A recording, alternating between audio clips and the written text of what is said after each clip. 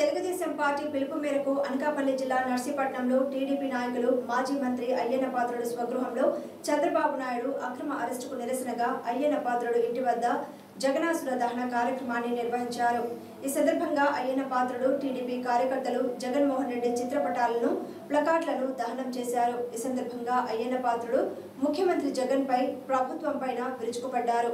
అలాగే బెయిల్ పైన తిరుగుతూ ఉన్న వ్యక్తి జగన్ ప్రజల కోసం తిరుగుతున్న వ్యక్తి Chandrababu both are not same అంటూ బాలకృష్ణ డైలాగ్ చెప్పడం విశేషం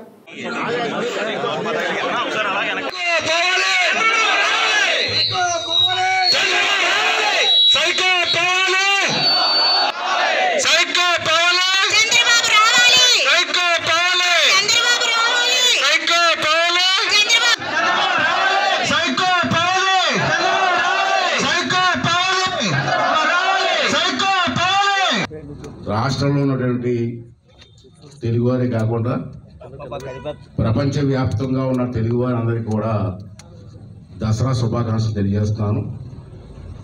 దసరా శుభాకాంక్షలు కూడా మనస్ఫూర్తి చెప్పలేకపోతాను. ఎందుకంటే ఈ రాష్ట్రంలో ఒక పనికిమాలోడి పరిపాలన జరుగుతుంది. ఎవరు కూడా హ్యాపీగా లేరు. పండగ వస్తే హ్యాపీగా ఉంటాం. మరి పండగలో హ్యాపీగా ఉండే పరిస్థితులు లేవు మనకి. అయినా మన సాంప్రదాయం ప్రకారంగా అందరికీ కూడా దసరా శుభాకాంక్షలు తెలియజేస్తున్నాను. ఈవేళ ఈ కార్యక్రమం ఎందుకు పెట్టామంటే దసరా అంటే మనందరికీ ముఖ్యమైన పండగ. పూర్వం ఏంటంటే దసరాలో పెద్దలు చెప్పిన సారాంశం ఏంటంటే అమ్మవారు మహిషాసుర మర చంపడం విషయంలో మనం చెప్తూ పురాణం చెప్తూ ఉంటాయి మనకి. ఆ మహిషాసురుడు అంటే ఎవరో? ఓ దుర్మార్గుడు. పడికుమారి సన్నాసనాకుడు కొడుకు. అంటే మన భాషలో అంతే. రాక్షసుడు కనుకోని అటువంటి వ్యక్తి ప్రజలను పీడిస్తూ ఉంటే ఆ అతన్ని భూస్థాపిత చేయడం కోసం చంపడం కోసం అమ్మవారు ఆ రోజు ఏ విధంగా చేశారన్నది మన పురాణాలు మనం చెప్తూ ఉంటే పెద్దలు చెప్తూ ఉంటారు. అటువంటి పరిస్థితి వేళ మన ఆంధ్ర రాష్ట్రంలో వచ్చింది.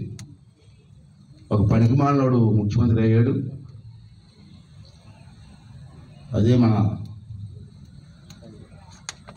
నేనైతే సన్నాసుడు అంటారు కానీ సైకో జగన్. మేము ఈరోజు జగనాసురుడు అని పెట్టాం. మరి పాత పురాణ కథల్లో గుర్తు చేసుకొని అటువంటి రాక్షసుని ఏ విధంగా అమ్మవారు అంతం చేశారో అంతం చేసి ప్రజలకు శాంతి కలిగించారో ఈ ప్రాంతానికి శాంతి కలిగించారో అటువంటి పరిస్థితులు మళ్ళీ నాలుగు ఇన్ని సంవత్సరాలకి ఇక్కడ మళ్ళీ అవతరించే జరుగుతున్నాయి కాబట్టి ఎవరు కూడా శాంతిగా లేరు సుఖంగా లేరు. రాష్ట్రం అంతా కల్లోలం అయిపోయింది దోపిడీ జరుగుతుంది. ఇటువంటి జగనాసురుణ్ణి అతమార్చు తల్లి అని చెప్పడం కోసం. హతమార్చి అంటే ఇంకో మీటింగ్ తీసుకొస్తారు మనకి ప్రశ్నలో రాస్తారు రేపు. అయ్యన్న కొంచెం ఇలా మాట్లాడారని రాజకీయ సమాధి చేయమని కోరుతున్నాను నేను. మళ్ళీ రకరకాల అర్థాలు చంపేయమన్నాడు ఎరుపోతులు మటర్ చేసేమన్నాడు ఇది అర్థాలు ఎన్ని కాదు అనేది? రాజకీయ సమాధి చేసి ఈ ప్రాంతాన్ని కాపాడు తల్లి అని చెప్పి ఈ దసరా సందర్భంగా ఆ దుర్గామాతను కోరుకుంటూ మనస్ఫూర్తిగా ప్రజలు కూడా కళ్ళు తెరవాలి. ఇంత అరాచకం ఎప్పుడు చూడలేదు. చాలామంది ముఖ్యమంత్రి పరిపాలన చేశారు ఈ రాష్ట్రాన్ని. ఎవరు కూడా ఇంత ఎవరి పార్టీ గెలవడం కోసం ప్రయత్నం చేస్తారు తప్పులేదు ఎవరు ప్రయత్నాలు చేస్తారు గెలవడం కోసం. అంత అంతేగాని ఇంత అరాచకమా? నలభై ఐదు వేల కోట్లు కుంభకోణం చేసినవాడేమో బెయిల్ తిరుగుతున్నాడు రాష్ట్రంలో. ఏ తప్పు చేయని నాయకుడు జైల్లో కూర్చున్నాడు.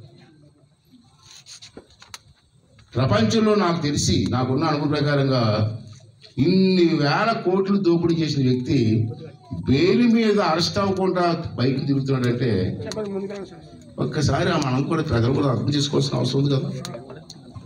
ఈవేళ నలభై ఐదు రోజులైంది చంద్రబాబు నాయుడు గారు జైల్లో పెట్టి. ఒక ఆధారాన్ని చూపించారు మీరు? ఎన్ని కోట్లు చెప్పారు మొదట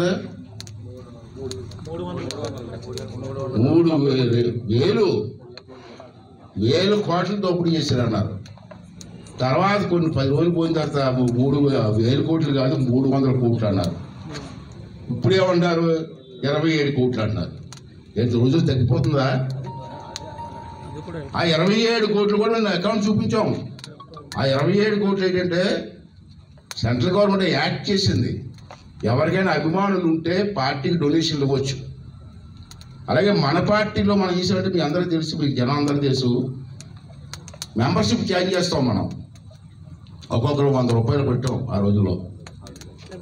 అరవై లక్షల మంది కట్టాం మేము. సుమారుగా పైనే. ఆ డబ్బంతా కలిపితే ఇరవై ఏడు కోట్లు వస్తే బ్యాంకులో వేసాం. రికార్డ్ అది. ఆ ఇన్కమ్ ట్యాక్స్కి ఇస్తాం సెంట్రల్ గవర్నమెంట్కి ఇస్తాం స్టేట్ గవర్నమెంట్కి ఇస్తాం. రికార్డ్ అది. ఆ రికార్డ్ చూశారు. డొనేషన్ అనేది మెంబర్షిప్ కాదు తప్పు అది ఈ నలభై ఐదు రోజుల్లో కానీ చంద్రబాబు నాయుడు చేసిన ఒక్క తప్పు కూడా నిరూపించకుండా ఈ విధంగా నిర్బంధించడం ఎందుకు? ఎంత అన్యాయం? ప్రజలందరూ గమనించవలసింది అవసరం. ఏమీ లేదు చంద్రబాబు నాయుడు గారు ఒక పక్క మన లోకేష్ గారు ఒక పక్క తిరుగుతుంటే జనం తండోపు తండాలుగా వేలాది మంది లక్షలాది మంది వస్తూ ఉంటే ఈ జగన్మోహన్ రెడ్డి తట్టుకోలేక వీళ్ళిద్దరినీ కూడా అరెస్ట్ చేసి లోపడేస్తే తెలుగుదేశం పార్టీకి దిక్కు మొక్కకూడదు అనుకుంటున్నారు అది తప్పు జగన్మోహన్ రెడ్డి చేస్తున్న తప్పు ఇది ప్రజాస్వామ్య పద్ధతి కాదు. చంద్రబాబు నాయుడు గారు నిప్పులాగా బయటకు వస్తారు. దాంట్లో అనుమానమే లేదు. ఓ. మీరు ఎన్ని వ్యాసాలైనా చేసినా చంద్రబాబు నాయుడు గారు నిప్పులాగా బయటకు వస్తారు. ఆ నమ్మకం మాకుంది. నేను ఒకటే చెప్తాను ఆఖరికి ఒక కొటేషన్ చెప్తున్నాను. రాష్ట్రం కోసం బతుకుతున్న వ్యక్తి చంద్రబాబు నాయుడు గారు. రాష్ట్రం మీద బతుకుతున్న వ్యక్తి Jaganmohan Reddy. Both are not same thank you